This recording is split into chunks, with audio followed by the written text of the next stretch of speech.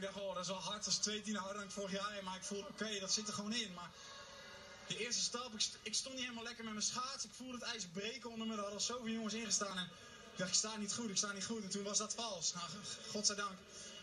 En toen, uh, uit de tweede was ik weg. Maar echt een zenuwen gierden door mijn lijf. Maar ik zat er zo lekker in. Ik kon gewoon elke bocht zo knokken. Klein foutje bij de uitkomen van de eerste bocht.